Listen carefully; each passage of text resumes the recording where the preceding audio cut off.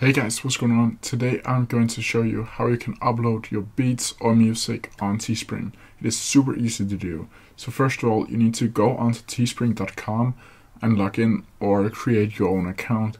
And then when that is done, you need to go up here on the blue icon called create product and you need to click on that.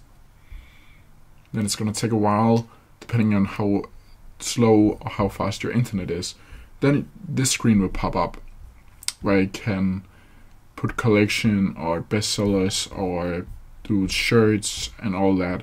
What you need to do to upload your beats or music is go onto the digital form.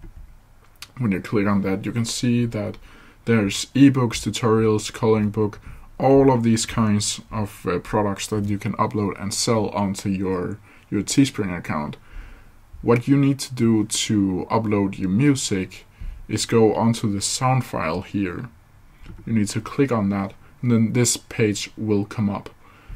When that is done, you can see here, select the product type you're selling. You're choosing the sound file. And now here you need to upload your music or your, your beat. And for this example, I'm just gonna use this one. Uh, call I call it's a quick beat I just made for this tutorial. Um, as you can see here, your file has been added successfully. We'll upload it to your pro digital product listing once you hit publish.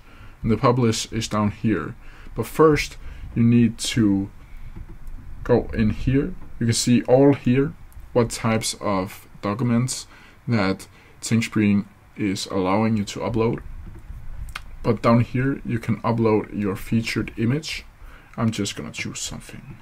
Doesn't really matter, I'm just gonna choose this one for this example. You can choose up to four different ones of it. Uh, and down here, you need to click on, uh, you need to write a title. So I'm just gonna call it the same thing I call my my file. You Okay, so just gonna there.